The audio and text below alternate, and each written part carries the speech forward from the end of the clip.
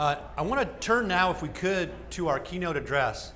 And we're very lucky this afternoon to have with us Robert Glennon, the Regents Professor and Morris K. Udall Professor of Law at the University of Arizona. Uh, Robert Glennon is one of the nation's preeminent experts on water policy and law, a recipient of two National Science Foundation grants. He serves as the Water Policy Advisor to Pima County, Arizona, as a member of the American Rivers Science and Technical Advisory Committee, and as a commentator analyst for various television and radio programs. He's also a Huffington Post blogger. and in 2014, Dr. Glennon and two co authors collaborated with the Hamilton Project at the Brookings Institution to explore solutions to the broken federal and state laws that are contributing to worsening water shortages in California and the other western states. Their groundbreaking report entitled Shopping for Water How the Water Market Can Mitigate Water Shortages in the American West is viewed by many as a game changer for water policy moving forward. His book, Unquenchable America's Water Crisis and What to Do About It, was published in April 2009. And Professor Glennon's best known publication is Water Follies, Groundwater Pumping, and the Fate of America's Fresh Waters, which received accolades from Scientific American, from the Washington Post, and the New York Review of Books. Professor Glennon received a JD from the Boston College of Law uh, at the Boston College Law School and an MA and PhD in American History from Brandeis University. He's a member of the bars of both Arizona and Massachusetts. Please join me in welcoming Robert Glennon.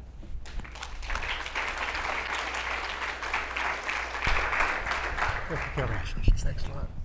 Uh, good, afternoon. uh, good afternoon, everyone. Good to see you. Uh, I really wished I could have been here for the event last night, but I was teaching yesterday afternoon. But I did get here for most of the morning sessions, and they were really, they were really uh, terrific, uh, terrific uh, uh, presentations. Uh, I, Kevin, I appreciate the introduction. I am grateful for the invitation to be here. and I, I just want to say, at a time when many people find it difficult to take meaning from their jobs, I look at what you folks are doing, and you're doing, uh, you're pursuing a noble cause, a noble calling, uh, trying to provide water and, and, and, sanitation services to people. What, a, what an incredible thing you're doing, and my hat's off to you for it.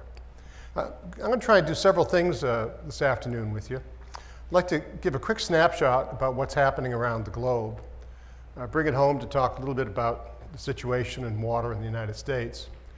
And then I hope you won't think it uh, too simplistic, but I'm going to frame it as simply a question of supply and, and, demand. And that being the case, what do we do about it? What are the solutions to the imbalance between supply and demand? And then I thought I'd finish up with a few comments about some challenges facing the water industry. Kevin thought that those comments might, might particularly resonate with you. So first, the, the, the global situation. You know, we're so lucky in the United States compared to what ha is happening around many parts of the, of the globe. Um, there are about 7 billion of us on this planet, and more than 1 billion of us lack access to water. 2.6 billion people lack access to sanitation. Uh, as shocking as it seems, there are still people dying from waterborne diseases, and most of them are, are children around the globe. And when you look forward, the demographers predict that the 7 billion of us now on this planet will be more than 9 billion by mid century under a modest projection of population growth, not the most extreme by any means. And then the challenge is really very sharply etched, I think. Where on earth are the resources going to come from, water and other things, to support an additional 2 billion fellow citizens of this globe? Then you have to factor in climate change. And this, this particular graph is, is really very powerful. It looks almost cartoonish. But look at those arrows and, and think about just how every one of those arrows is an important statement. And they are all pointed in the wrong direction. And think about what's happened in the last month or six weeks. Uh, the fires, of course, in California, but the, the, the hurricane in first uh, Houston and then the Caribbean and Puerto Rico and Florida. Um, and you realize that while you can't say with any certainty that any one storm is anything more than simply weather variability, when you look at those factors and you realize that you are creating this incredible ability for storms to have more ferocity, which is what we just saw, you start to say, you know, there's something to this. Add into that that never have there been two category four hurricanes in a single season, or 10 hurricanes at all in a single season, and you start to say there's something to this. And the consequences for water and water supply from climate change are, are tremendous. So the last three years have been historic highs. I expect uh, the New York Times' Justin Gillis is going to write the same column in January 18 as he did in, in 16, 15, and 14. Of the 17 hottest years on record in the last hundred and whatever years, 16 of them have been since the year 2000. 16 since the year 2000. So, how does this impact water? Farmers consume, consume, not divert, consume 80% of the water. And it's very clear, the Bureau of Reclamation has found so in studies of farmers around the West, that to grow the same amount of food is going to take more water. But the farmers are already consuming 80%. And we're talking about an additional 2 billion people. How is this going to work? this is a photograph of Oroville Dam. How many of you are from Northern California? Um, uh, it's been a tough time, tough year in Northern California. Uh, the evacuation, the people, the number of people evacuated was about 180,000. And we know that it was because the dam had not been maintained properly. But Oroville was just one dam, and it could have happened to a lot of other dams around the country. Many of the dams traced the New Deal period, 30s, 40s, 50s. They've come to the kind of the ebb of their uh, useful life expectancy, and we have not maintained them. There's something else, though, in terms of water that is problematic about Oroville. And that is that the dams that we did build in the mid 20th century were sized and expected to deal with the hydrology and the hydrograph as it existed in the mid 20th century. But that's not a hydrograph that we have going forward. And as climate change creates ever more severe sine curves with higher highs and deeper lows and more violent storms when we get these storms, uh, the pattern of water availability is profoundly different. Now, most people, I think, when they think about where do we keep water, they think about the reservoirs and the dams that hold the water back in the reservoirs. But most of us are from the West, and we know that our water supply in the West is not in the reservoirs, it's in the mountains, and it's called snowpack. And when you have a, an increasing, uh, increasing temperatures, the snow doesn't stay there. It comes later, leaves earlier, you have more snow melt at, at different times. And once the, the snow is in melted form, then it's more susceptible to evaporation loss. So not only in some places will there be less precipitation, but the precipitation that is is going to be coming at the wrong time, and, and the water won't be filling the reservoirs. So climate change is a huge challenge. In the United States, uh, I've written a couple of, a couple of books about water. Um, the, the situation is um, challenging. Uh, this map of, uh, that the University of Nebraska puts out every week, I know some of you deal with these maps all the time. It looks so different than it did last year, right? Last year, you folks were deep red in California, but you had the huge storm, the huge uh, winter, rather, uh, uh, season this past year, very, very wet.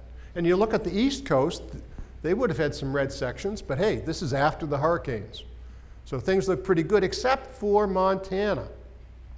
And I was in Montana in late July and early August, and the, the fires there, well, they're just not going to go out until you have snow. And that started, they've started to go out, but that's how long they've been, been, been burning. Elsewhere around the West, California's drought has ended, but the drought in the Colorado River has not ended. And that is that system is now in the 15th year uh, of a drought, and no one knows whether it's the 15th year of a 15 year drought or the 15th year of a 50 year drought. but the iconic bathtub ring around Lake Mead is there and it's not getting better. In fact, it's, it's getting worse. And it's getting worse because there's a basic disconnect between the amount of water that we have doled out in terms of water rights seven and a half million acre feet to the upper basin, seven and a half million acre feet to the lower basin, 1.5 million acre feet to the Republic of Mexico. Okay, now the, the, the, math this morning that I saw on the board with all those equations, way above my pay scale, you know. But 7.5 plus 7.5 plus 1.5, I can do that. That's 16.5. The problem is that the tree ring scientists at the University of Arizona have discovered that there isn't 16.5 million acre feet in the Colorado. Instead, over the last thousand years, the average flow has been more like 14 million acre feet. Oh, and then you've got evaporation loss off the surface of Lake Powell, which is 200 miles long, and Lake Mead, which is almost as long, and that's 1.6 million acre feet. So the 14 million now becomes 12.4. Then we can factor in climate change. And climate change, it depends on who you believe, somewhere between 10 and 25% reduction for the Colorado River. And you start to realize that's more than the entire allocation for the state of California. 4.4 million acre feet, and this system is in a deficit that exceeds that. So the supply is challenged, but the demand seemed to be insatiable. Um, this is one, I was the first to point the finger at, at bottled water in my book, Water Follies. Uh, Jennifer Aniston here telling you you'll, you know, you'll, I think she's saying you'll look beautiful if you drink smart water. I think that's, I think that's the, you know, that, that's, that's, I think the message. Uh, uh, you know, and, and bottled water is, is no better, no safer than tap water. It's not regulated as much. Uh, uh, you know that. I don't need to, to, to, to, to go there with you. I would just say that it's kind of indulgent. Uh, people are paying a thousand times more for water that, that they don't get any additional benefit from. Um, but we, as a group, can be incredibly narcissistic. Um, this is one of my favorites. This is Kohler's Power Shower. Uh, there are 10 shower heads, each with enough water pressure to take paint off walls. These are very popular in Phoenix, which is why we in Tucson look down our noses at people in Phoenix. So. Uh, you know, uh, don't you have 10 shower heads in your home? Uh, uh, Ed Abbey, an Arizonan, a curmudgeon of the first order, uh, an elegant, uh, profound writer, sort of a nasty son of a gun in real life. But when he wrote at his best, he was, he was really poetic. So plenty of water in the Mojave Desert unless you try to establish a city where no city should be. Well, of course, that would be the city of Las Vegas. And this is the Bellagio fountain. How many of you, uh, I want to see a show of hands. How many of you love the Bellagio fountain? Okay, all right. How many of you hate the Bellagio fountain? Uh, more like than dislike, okay. Um, so this is, um, was Steve Wynn's baby. So when he was going to do the Bellagio, he wanted to have a feature. And he went to Pat Mulroy, the iconic uh, head of the Southern Nevada Water Authority. He said, she said, he said to her, I want a water feature, Pat. So I got to have a water feature. That's my concept. And she said, okay, Steve, are you prepared to double plumb the hotel? Are you prepared to put a reverse osmosis system in the basement and clean up that contaminated water? And, by the way, have instant on hot water in every room, low flow fixtures, low flow, high efficiency toilets, Long list. He said yes to all of it. And so he did, and they did. That fountain, it's all recycled water. And when you look at the water use in Las Vegas, you see actually she did a heck of a job encouraging conservation. And that, that area of the state, the strip, uses 3% of Las Vegas's water. And yet it is the economic driver second to none. And so as we look forward, we, we cannot avoid thinking about the economic value of water. That has to be an important variable as we think about what we're going to do about the challenges. Now, this, well, this could be right where we are. This could be Las Vegas. It happens to be more around Palm Springs. There you've got the Mojave Desert. Uh, every house has a, a, lawn and most have pools. I, I, truly think that Southern California could go a long way toward taking care of its water problem if, if, if you folks just got over your love affair with lawns. You know, that would be a, a, good, a pretty good start. You know, but, but I love that photograph because people, especially sort of the lefty geographers, they talk about constructed landscapes, right? Now, this is a constructed landscape. This is, uh, this, the right is the real world, and the left world is, is, is, is the idyllic one. Um, okay, so there are some indulgent uses of water, pools, lawns, 10 uh, shower heads, bottled water. But water also is very important for keeping the lights on. And water is essential to virtually every kind of energy production, including um, ethanol. And uh, what I find interesting about this story is that it takes four gallons of water to produce one gallon of ethanol, even if you're in a plant that recycles its water. But first you have to grow the corn. And so if you're any place east of about mid-Texas, that's okay because it's all dry land farm. And so it's just Mother Nature. But the moment you go past there, and once you go past the 100th meridian, then it's all irrigation farm. And corn's very water consumptive. It can take 2,500 gallons of water to produce enough corn to refine one gallon of ethanol. Oh, and by the way, Congress has proclaimed that we should produce 36 billion gallons of ethanol by 2022. Now, that math I can't do, but it's a lot of zeros at the end for ethanol. And we seem to have an insatiable desire for energy. And it takes a lot of water to produce energy, and it takes a lot of energy to move, pump, cleanse, and treat water you know better than I, 19% of all of the electricity you use in the state is just moving water around and treating it. And then there are other kinds of energy production and energy use. Here's my favorite. no, this is not Sam's Club or Costco. This is Google. Google, wait a minute, don't they have that Mountain View campus and you get massages all day? No. This is, this is, when you do a Google search, this is what goes on. This is a Google server farm. And inside are tens of thousands of computers all hooked up, all generating heat. They have to dissipate the heat. What do they use? They use water because water is a great coolant, as we know from the radiators in our automobiles. The demand for energy. The cloud. Where is that cloud? Well, it's not up in the air. But most of our fellow citizens think it's like that, and they treat it as though it's infinite. Uh, Google reports that we collectively upload to YouTube 100 hours of video every minute. Okay, those pictures of your cat are not that interesting. Stop it. You don't need to keep up with the tweets from the Kardashians, never mind our president. So, So I like hockey. I grew up in Boston, so I put the Boston Bruins thing up here, but I was shocked. National Hockey League teams use 300 million gallons of water a year to run their stadiums. Now, there's an important point behind that. Virtually every business needs water.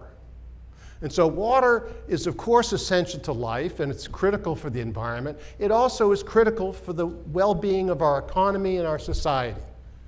Water lubricates the American economy just as oil does. It's critical that we have enough. So what are we going to do about it? Well, business as usual is not an option. And what does business as usual mean? Usually it means we divert even more water from our rivers than we now are, or we build uh, uh, new dams. We're really good in the United States at building dams.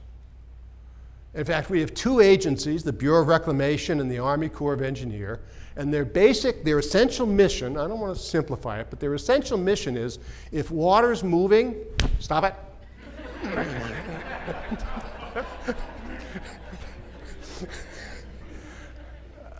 We're taking out dams, we're not building new ones. Uh, now, you may build a couple of tunnels here. I understand that. That may happen. Uh, and, and, then finally, there's groundwater pumping. And this is the uh, uh USGS slide from the Central Valley. Uh, and it, it, shows, if you look at the bottom, that's where the Earth was, where the Earth is now, and where the Earth used to be 50 years ago is at the very top of the slide. And I have to tell you, I come from a state that you all look down on. You are progressive Californians, and I come, I come from Arizona.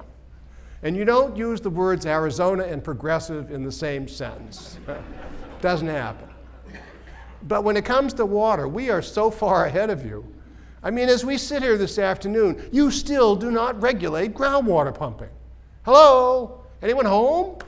Still don't regulate? I know you passed the Sustainable Groundwater Management Act, but and you could take some pride in it. But Arizona did something like that in 1980, and you did it in 2014 and you still are suffering the consequences from it. At the very least, we know drilling more wells is not going to get the job done. So, what can you do? Well, we can go elsewhere.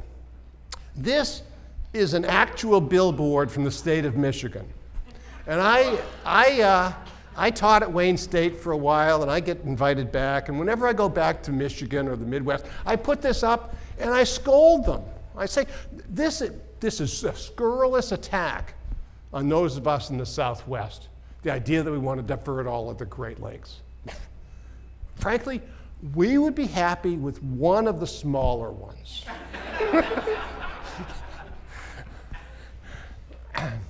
and then there's cloud seeding, another idiotic idea.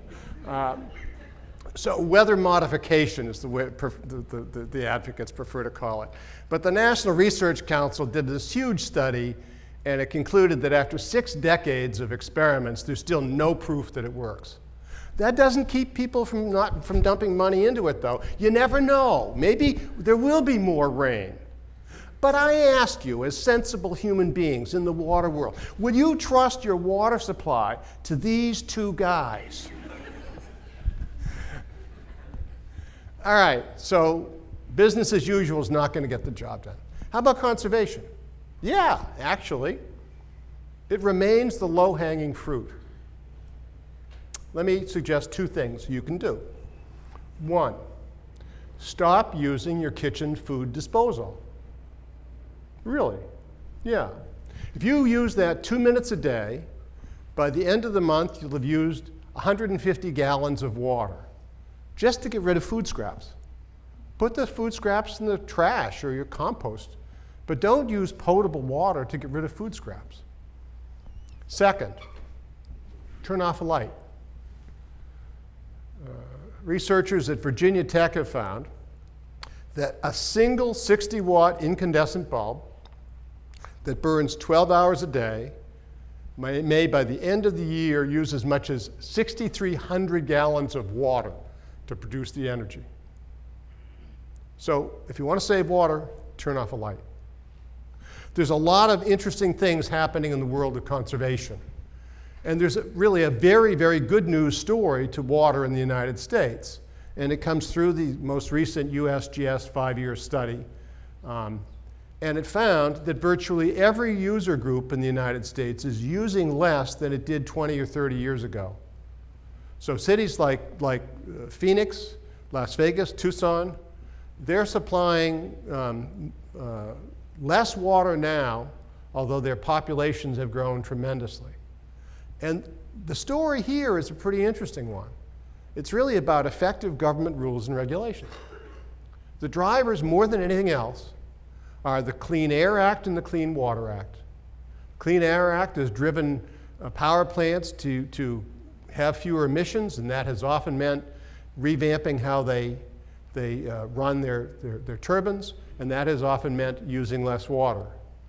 And on the domestic side, EPA's WaterSense program. You can't get a six gallon per flush toilet anymore.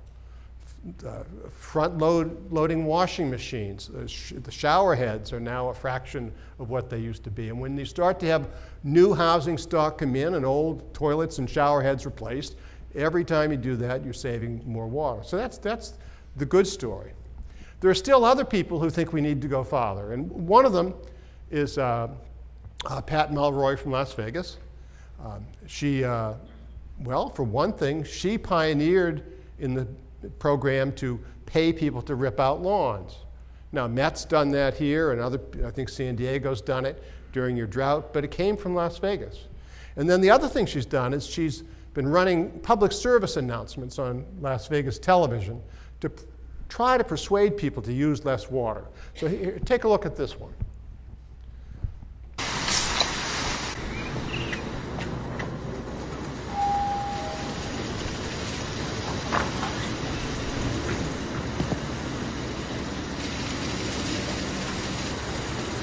Can I help you?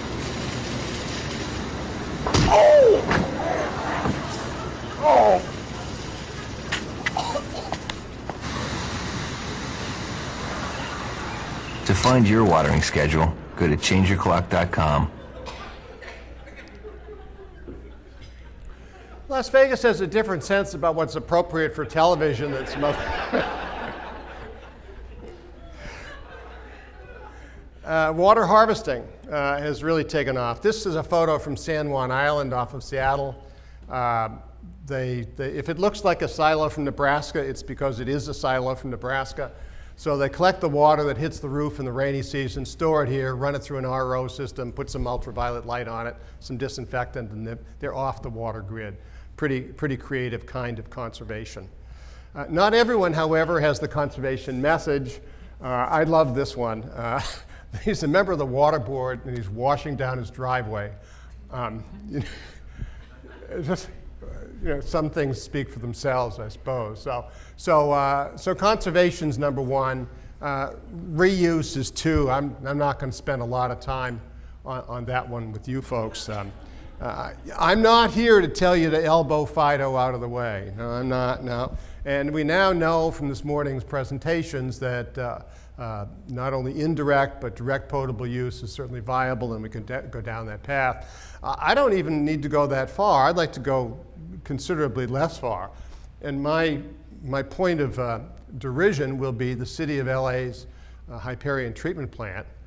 Uh, it produces a volume of water equal to the seventh largest river in the country, and virtually every drop of that has ended up in the Pacific Ocean. Uh, we, we need to do better. Uh, if it's not going to be for potable purposes, at least you could take a page out of Arizona's playbook.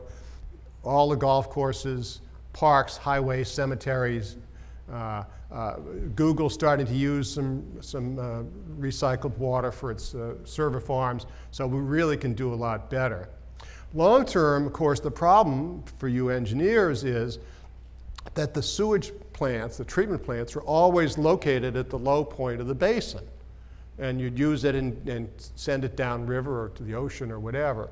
And what we really need to be thinking about is, is uh, smaller uh, uh, uh, plants located up gradient so that you can use the water locally. So reuse water is, is uh, a second uh, viable solution. It's not um, a silver bullet. It's expensive compared to other sources of water even. Uh, it requires typically a, a separate system of pipes, often painted purple. Um, so you have some, some challenges. Still, it's water we already have. And so I think what you're doing is, is great. So let's talk about a third option. That would be desalination. Uh, and here too, I don't, I'm not going to spend a lot of time on that. Uh, it's not a perfect solution. The membranes in an RO system are really expensive, not as expensive as they used to be, but still expensive.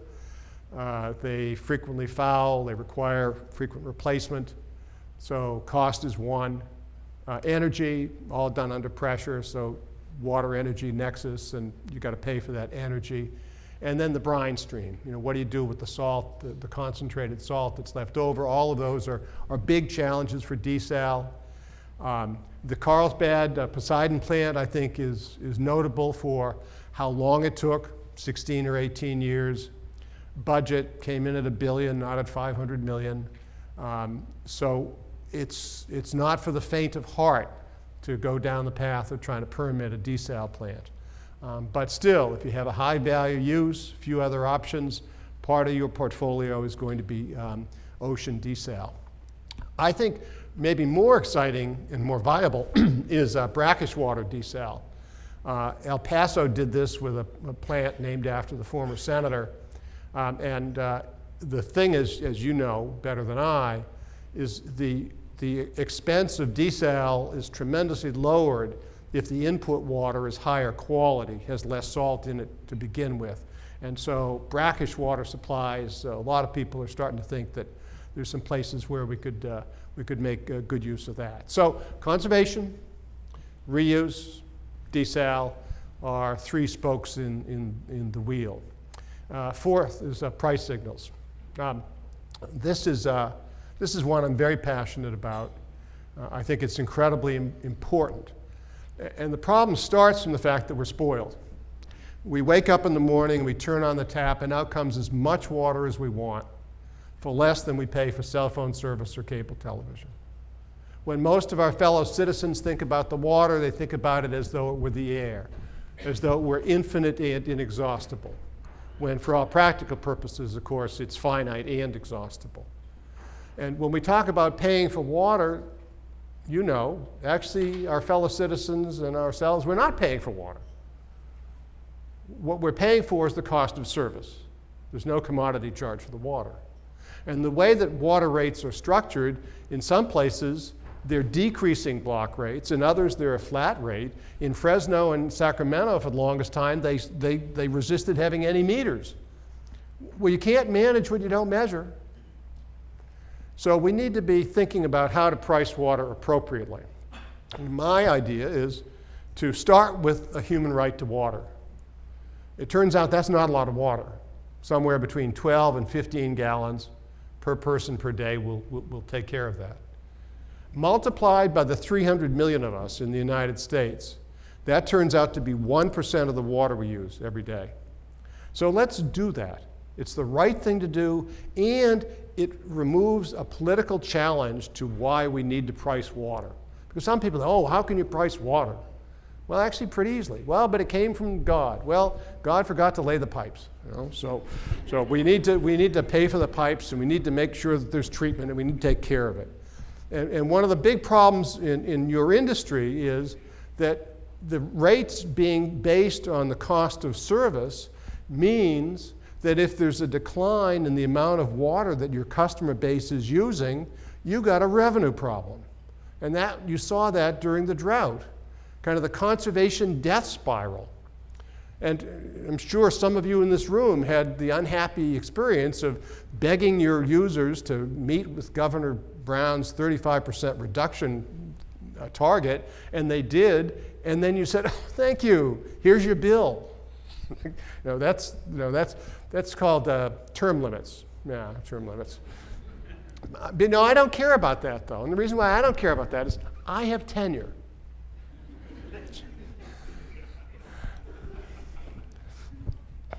Um, we got to give more water out to people of lower means, lower ability to pay. And Philadelphia is the first in the country, I think, to do this.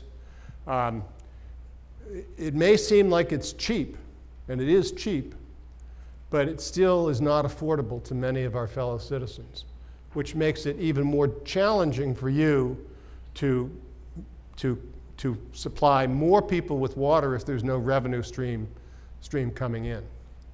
The, one of the reasons I think water pricing is so critical is that as I go around, I meet inventors and engineers who have, who have built better water mousetraps, things that work. But what is so sad is that almost to a person, none of them has a viable business plan because the price of water is just too low. So we need to have a serious adult conversation. We need increasing block rates. We need them to be seasonally adjusted so that if you want a swimming pool, if you want to have the lush lawn in that photograph from Palm Springs, you can do it, but by golly, you're going to have, have to pay for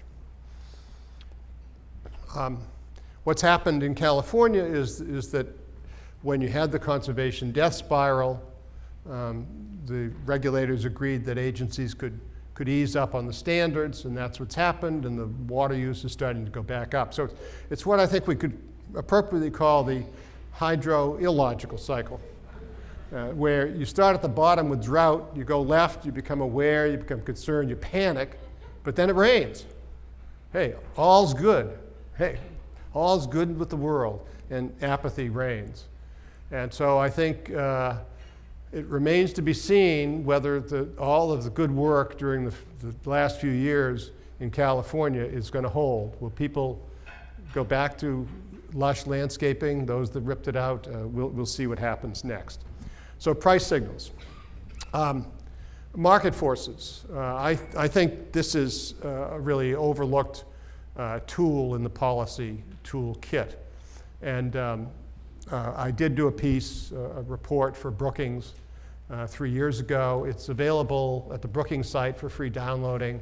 Uh, my publisher, Island Press, brought it out as a free ebook. So if you do Kindle or something and you like, like that, um, I think that's uh, another place you can go. It, it takes more of a deep dive into some of the legal problems, the legal water law problems that we need to change if we're going to encourage the movement of water from, from one place to another. But, but our idea is fairly simple. You start by looking at the value of water, and there are some fairly dramatic differences in how people use water around the West. So in Yuma, Arizona, if you grew uh, alfalfa, uh, you'd generate about 900 bucks per acre foot to grow alfalfa. Uh, lettuce growers in the same area generate about 6,000, but Intel, Intel's Core, Core 2 Duo chips generate about 13 million per acre foot. So the opportunities for trade are absolutely stunning. But there's a problem here. And the problem is, when you start talking like this, the farmers get nervous. And I don't blame them for getting nervous. I mean, they see themselves with a big bullseye on their chest. Well, they are consuming 80% of the water. And so that's going to happen. But then you see, I, during the drought, I would see these reckless comments from editorial writers in the LA Times, the New York Times. If I read one more time that it took a gallon of water to grow an almond, I was going to kick the dog. And, and, I don't have a dog, so I was, so I was going to borrow a dog. So, so uh, yeah, well, it takes 158 gallons to grow a watermelon. I mean, it takes a lot of water to grow anything, and we all like to eat. And we have the cheapest food on earth, and it's never been a smaller percentage of our income. Farmers have done unbelievable stuff for us. So we need to do better by how we think they should behave. Because it's worth remembering it's their water and their water rights. So I've learned this the hard way. Uh, I broke the story that Western farmers were uh, using 100 billion gallons of water each year to grow alfalfa that then got shipped to China.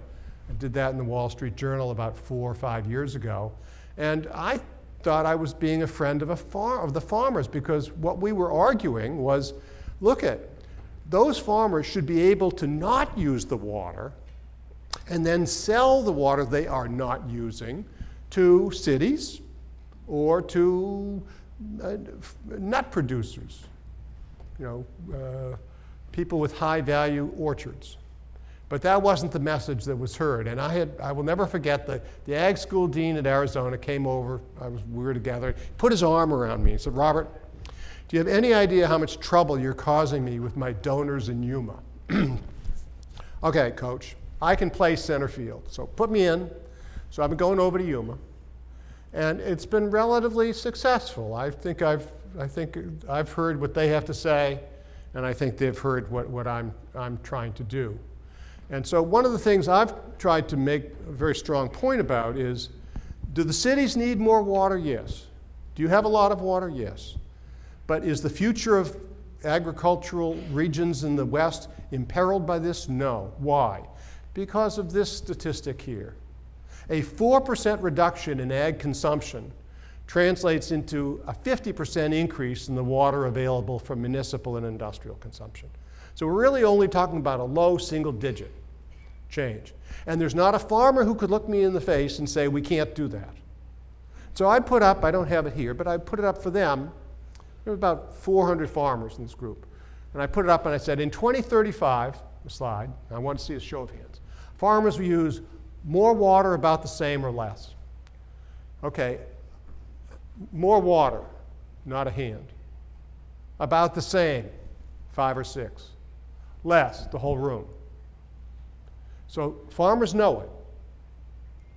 The question then, the only question then, is how do farmers get from point A to point B? Because it is going to happen. And so what we've argued for is let's have a municipal financing system to encourage farmers to modernize their infrastructure. Right now, as we sit here this afternoon, still more than 50% of all the ag land in the West is flood irrigated. We can do better. I've seen it with my own eyes. There's an Israeli company, Netafim, that does subsurface drip irrigation even for alfalfa, and it works. But you know what? It's expensive. And farmers tend to be real estate rich and, and cash flow poor. So let's have a system where the 2,500 or 3,000 bucks per acre to put in subsurface drip is paid for by the cities and industry. And in exchange, the cities or industry will take the water conserved. So it's a win-win. Farmers grow the same amount as product as before, the cities get a little more water, and this improvement is paid for by the, by, by, by the city folks. So I think the menu is a robust one. Conservation, reuse, desal, price signals, reallocation. Those are five powerful tools for solving our water crisis. So just a, a few more comments on, on the water industry. So I did a piece for the uh, American Waterworks Association's past just a year ago. Kind of, a, it, it doesn't affect too many of you. This is a private water company. But 15% of people in the country do get water from private water companies. This one was just outside of Manhattan, Rockland County, and it was uh, United Water New York. And they proposed in uh, 2007 that they would build a desal plant on the Hudson. And the, the, the, political officials thought that was a great idea. The New York uh, Public Services Commission thought it was a great idea. Three years later, the P PSC said, come on, where's this plant? Come on, get this thing online. Three years after that, in 2013, they said, you know, our staff just looked at this and we don't think you need all that water, so forget it. And the company said, uh, and the 56 million that we're, we're in hock that we've already spent on doing this, uh, we'll get back to you on that. well, and so my message is, you know, don't raise your head, don't let yourself be caught between political officials who are running the PUCs around the country and, and the voters. Keep your head down. If you've got a water problem, don't be inventive. Don't think about creative ways of new or new supplies. Just go to Home Depot, you know, buy some duct tape, and, and you'll, be, you'll be good to go. And that's the problem. we have public utility commissions who are steeped in cheap water. All you had to do was to put a pipe in the river, drill a new well. That's gone. And they haven't learned that lesson. And there's a lot of pressure on the water industry because they can't predict that there will be reliable pass-through of the costs that they invent or that they invest if they're doing aquifer storage and recovery, desalination, or, uh, or, or, some of the other things that you were talking about this morning. So that's a challenge going forward. Uh, second challenge is Flint. Now,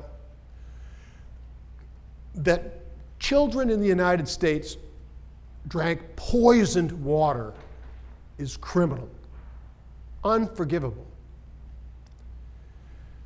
But Flint could have happened in hundreds of communities around the country. Flint, at bottom, was a failure to maintain the infrastructure. It was not maintained, and there are a lot of other communities, the whole Ohio River Valley, with lead pipes in them, and it just happened to be Flint.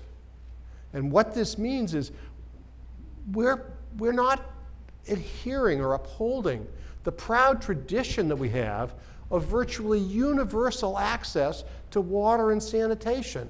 It's something unrivaled in the history of the world. And we're letting it slip through our fingers. People are starting to doubt the, the, the, the, the safety of public water supply. That's, that's a horrible thing to have happening. We need, we need to put resources into our water and wastewater system. And it will be challenging. It will be challenging even though there's all kinds of economic reasons to do so. Job creation, economic stimulus, avoiding deferred costs. You, you know the routine. It just makes sense. But it's not going to come from the feds. The feds, in, in 1972, when the Clean Water Act passed, the feds were deeply engaged in water and, and, and treatment. In fact, between 60 and 70 percent of all the investment in water and wastewater came from the federal government. Now, it's about 10 percent. On a per capita basis, the federal government devotes $11 per capita to water and wastewater. 11.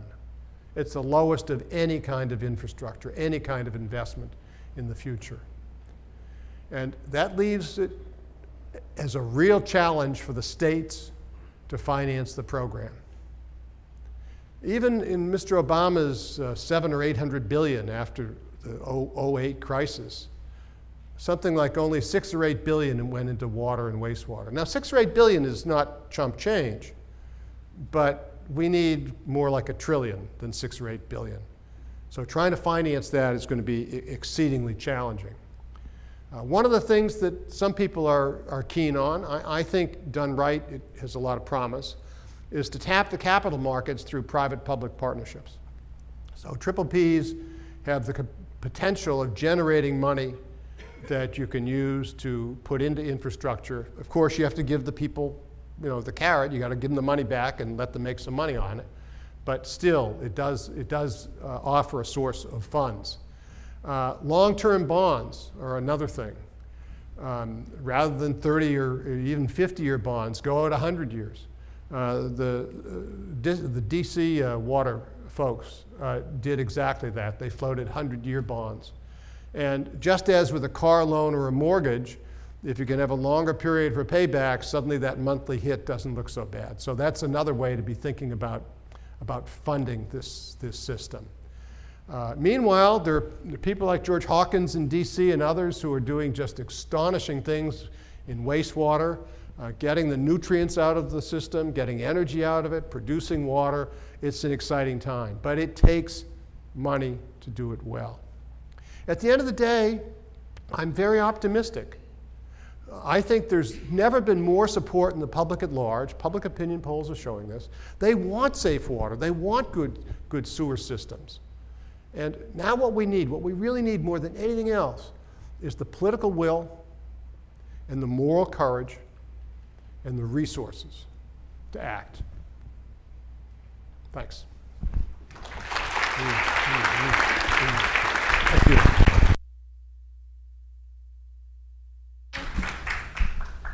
I think we have time, uh, probably about five, six minutes for some questions. Anybody have any questions for Dr. Glennon while he's here? Uh, wait, uh, if you would be so kind to wait for the microphone to make it over to you so we can record the question for posterity. Oh, back in the back. thank you. Uh, great presentation. I don't have a question, but I have a gentle comment on one area. You said water conservation. I love it. I'm 100% with you on this.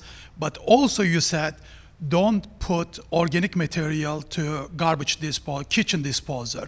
So we are trying to reduce organic loads to landfill. This is our objective also as a water, is a whole system. Mm-hmm. So with this approach, you are basically putting more vulnerability on the landfill side, not putting those things to wastewater treatment plant for better carbon diversion. Yeah. I would suggest otherwise. Use kitchen disposal as much as you can, but look for other opportunities to do water conservation.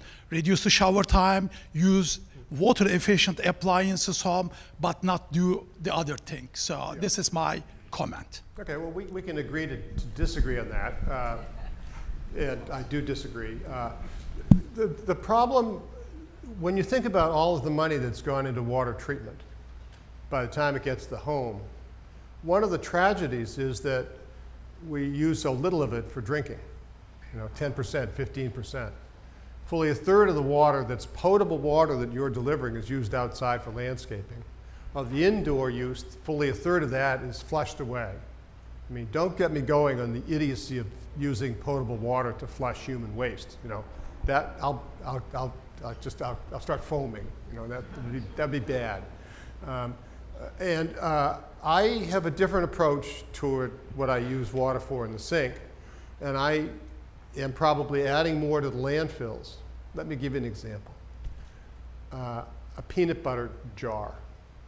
I do not wash, I do not use potable water to wash out the peanut butter jar so I can show it, throw this useless piece of, of, of glass into the trash where it's never going to be recycled for anything. I, can, I feel good because it's recycled, but in fact, it's never going to be recycled for anything. I'm just going to throw it away. So I, I decide is something worth using the water for. And for me, um, the, the small amount that's added by putting that into, into the trash is, is an easy call. But, you know, we, we will agree to disagree. Are there other questions for Dr. Glennon while we have him? Okay, see none. Thank you, Dr. Glennon. Appreciate it. Thank you.